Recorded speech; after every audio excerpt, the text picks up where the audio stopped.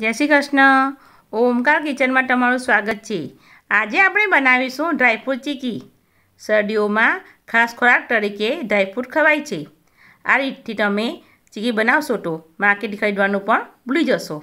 સ્વાદમાં ટેસ્ટી અને એકદમ ક્રિસ્પી બને છે. બાળકો માટે આવી રીતે બનાવી આપી શકો છો. તો ચાલો બનાવવાની શરૂઆત કરીએ. આપણે ડ્રાયફ્રૂટ ચીક્કી બનાવવાની છે. તો ડ્રાયફ્રૂટ ચીક્કીમાં સામગ્રીઓ જોઈ લઈએ. આપણે બસો ગ્રામ ખાંડ લીધી છે. ખાંડની ચીક્કી બનાવીશું. અને બસો ગ્રામના પ્રમાણમાં આપણે ડ્રાયફ્રૂટ લેવાનું છે. તો અહીં આપણે સો ગ્રામ કાજુ લીધા છે. સો ગ્રામ બદામ અને દસ ગ્રામ પિસ્તા લઈશું. અને એક વાડકી આપણે ઘી લેવાનું છે. હવે આપણે કાજુના અને બદામના ટુકડા કરવાના છે. આ રીતે આપણે બે જ ટુકડા કરવાના છે. વચ્ચેથી કટિંગ કરી લઈએ. ડ્રાયફ્રૂટ ડ્રાયફ્રૂટ ચીકીમાં માપ પરફેક્ટ હોવું ખૂબ જ જરૂરી છે. બદામના પણ આપણે આ રીતે ટુકડા કરી લઈશું.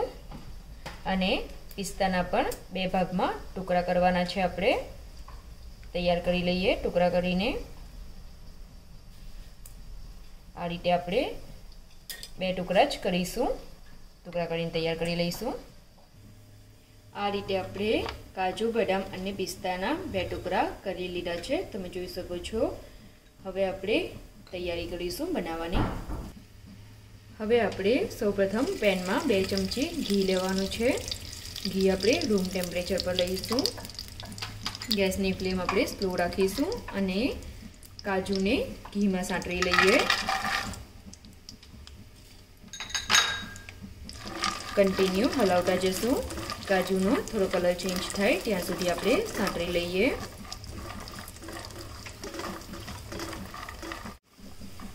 આપણા કાજુનો કલર ચેન્જ થવા લાગ્યો છે.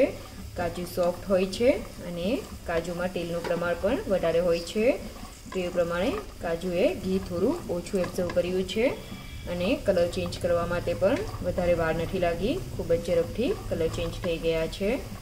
ગેસની ફ્લેમ બંધ કરીને આપણે કાજુની પ્લેટમાં કાઢી લઈશું. એ જ ઘીમાં આપણે બદામ સાતરવાની છે. ઉપરથી ઘી એડ નથી કરવાનું. સારી રીતે સાતરી લઈશું. બદામ હાર્ડ હોય છે, તો બદામને સાંતરતા અને બદામનો કલર ચેન્જ થતાં વાર લાગે છે. લગભગ આપણને બેથી ત્રણ મિનિટ થશે. ગેસની ફ્લેમ આપણે સ્લો જ રાખવાની છે. સ્લો ફ્લેમે જ બદામનો કલર ચેન્જ કરવાનો છે અને સારી રીતે સાંતળી લઈએ. બદામનો કલર ચેન્જ થઈ ગયો છે. બદામને આપણે પ્લેટમાં અથવા બાઉલમાં કાઢી લઈએ. ગેસની ફ્લેમ બંધ કરી લઈશું. ફરીથી આપણે એ જ પેનમાં પિસ્તા સાતરવાના છે. તમે જોઈ શકો છો, થોડું ઘી પણ બચ્યું છે. તો આપણે ઉપરથી ઘી એડ નથી કરતા. તમારે જરૂર પ્રમાણે ઘી એડ કરવું હોય તો તમે કરી શકો છો. ગેસની ફ્લેમ સ્લો રાખીશું.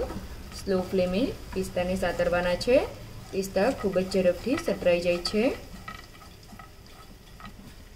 પિસ્તા સતરાઈ ગયા છે. ગેસની ફ્લેમ બંધ કરીને પિસ્તાને બાઉલમાં કાઢી લઈશું. આપણા ડ્રાયફ્રૂટ સાંટરતા જે ઘી બચ્યું હતું, એ ઘી આપણે અલગ કરી લીધું છે અને ફરીથી પેનમાં આપણે એક ચમચી ઘી લેવાનું છે. પેનને સાફ કરીને લેવાનું છે. ઘી આપણું મેલ્ટ થઈ ગયું છે. હવે આપણે ખાંડ લીધી છે. ખાંડ બસો ગ્રામ લીધી છે. ઘીમાં ઉમેરી લઈશું. ખાંડને સારી રીતે મેલ્ટ થવા દઈએ. આપણે અહીં ખાંડને મેલ્ટ થવા માટે પાણી જરા પણ એડ નથી કરવાનું. વગર પાણીએ જ આપણે કન્ટિન્યુ હલાવતા જશું અને ખાંડને મેલ્ટ કરી લઈએ. અહીં ખાંડને મેલ્ટ કરતી વખતે પણ આપણે ગેસની ફ્લેમ સ્લો જ રાખવાની છે. હાઈ ફ્લેમ પર આપણે ચીક્કી બનાવવાની નથી. આપણી ખાંડ મેલ્ટ થવા લાગી છે. તમે જોઈ શકો છો, હજુ પણ ખાંડમાં થોડી ગાંગરી છે. તો આપણે ખાંડને પૂરેપૂરી મેલ્ટ થવા દઈએ. ત્યાં સુધીમાં આપણે બીજી તરફ પ્લેટફોર્મને તેલથી ગાર્નિશ કરી લઈશું. તમે પ્લેટફોર્મની જગ્યાએ પાટલી પર અથવા કોઈ પ્લેટ પર પણ બનાવી શકો છો. અહીં હું પ્લેટફોર્મ પર બનાવું છું. પ્લેટફોર્મને સારી રીતે તેલથી ગાર્નિશ કરી લઈશું. હમણાં ઠંડીની સિઝન ચાલે છે. તો ઘીનો તમે ગાર્નિશ કરીશો તો ઘી જામી જશે અને ચીકી પ્લેટફોર્મની સાથે ચોંટી જશે. એ માટે આપણે તેલનો યુઝ કરવાનો છે. સારી રીતે ગાર્નિશ કરી લઈએ. આપણે વેલણનો યુઝ કરવાનો છે. તો વેલણને પણ આપણે ગાર્નિશ કરી લઈશું. ચીકી બનાવતી વખતે ટાઈમિંગ અને માપ બધું જ પરફેક્ટ રાખવાનું જરૂરી છે. આપણી ખાંડ મેલ્ટ થઈ ગઈ છે. હવે આપણે ડ્રાયફ્રૂટ એડ કરી લઈએ. કન્ટિન્યુ આ રીતે હલાવતા જ જઈશું. બદામ, કાજુ અને પિસ્તા ગેસની ફ્લેમ બંધ કરીને સારી રીતે મિક્સ કરી લઈએ. એક મિનિટ સુધી મિક્સ કરતા રહીશું. ગેસની ફ્લેમ આપણે બંધ કરી લીધી છે. મિક્સ થઈ ગયું છે. પ્લેટફોર્મ પર કાઢી લઈએ.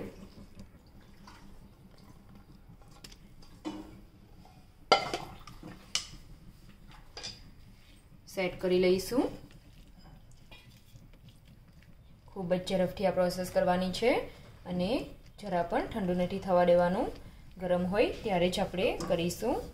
વેલણની મદદથી આ રીતે વણી લઈએ.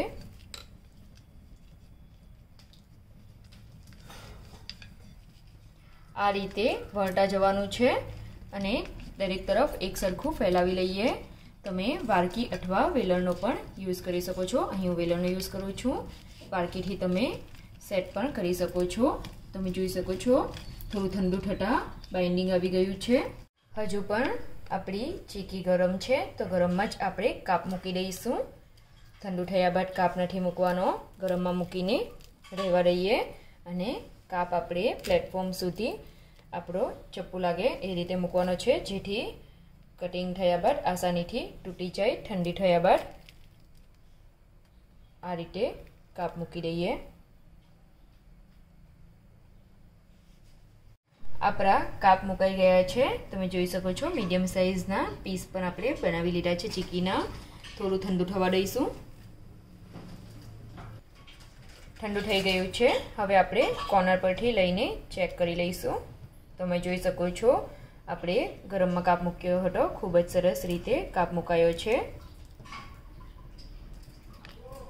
આ રીતે કટિંગ કરી લઈશું અને પ્લેટમાં સર્વ કરી લઈએ. આપણી ડ્રાયફ્રૂટ ચીકી બનીને તૈયાર થઈ ગઈ છે. એક ચીકી હું તમને તોડીને બતાવી દઉં. તમે જોઈ શકો છો, ખૂબ જ સરસ રીતે તૂટી ગઈ છે અને ક્રન્ચી પણ બની છે. અમારી રેસીપી જોઈને તમે પણ ઘરે જરૂરથી બનાવો.